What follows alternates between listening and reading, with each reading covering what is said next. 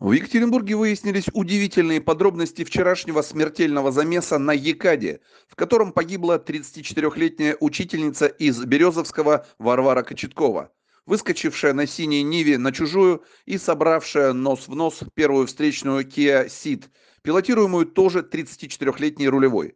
Обеих водительниц на скорых увезли в клинику, где Нива-водка скончалась, а рулевой киянки медики надиагностировали только лишь перелом плеча и ушиб ноги. Вчера гаишники в своем релизе назвали причину выезда Нивы на встречку неизвестной. Ну то есть это не был очевидный обгон.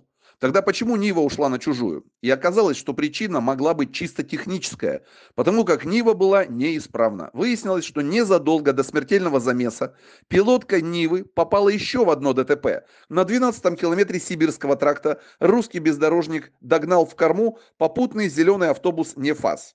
Удар был не сильный. Ни рулевая Нивы, ни люди в общественном транспорте не пострадали.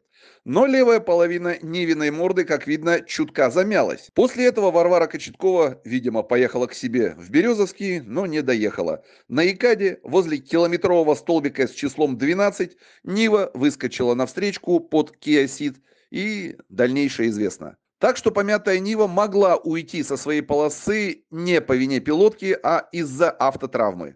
Но это все достоверно установит экспертиза.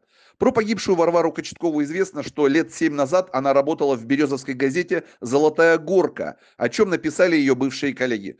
Ну а потом она ушла работать учителем биологии и географии в девятую березовскую школу. И знающие люди, как педагога, ее характеризуют эпитетом «замечательный». Как так получилось, что в один день пилотка Нивы попала в два замеса сначала на 12-м километре Сибирского тракта, а потом на 12-м километре Якада ответ Варвара Кочеткова, замечательный педагог, унесла с собой на небо.